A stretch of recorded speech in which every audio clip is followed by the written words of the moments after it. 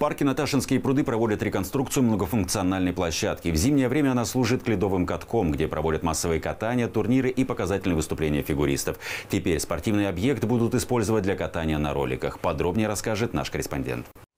Эта площадка успела стать излюбленным местом жителей округа. Впервые массовые катания на льду состоялись в Наташинском парке в декабре прошлого года. В зимнем режиме каток функционировал до конца марта. Сейчас пришла пора трансформации для летнего сезона. Идет заливка бетоном, выравнивание поверхности, армирование, установка борта.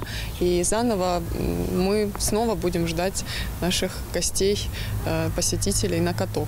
Погода немного подкорректировала сроки завершения работ. Строителям понадобится еще чуть больше недели. Торжественное открытие роллер-дрома состоится 30 июня. Планируется, что в летнем режиме многофункциональная площадка будет работать до октября. Конечно же, наша задача вовремя открыть э, эту площадку. На площадке будет, само собой, освещение, музыкальное сопровождение. Работать она будет до позднего вечера.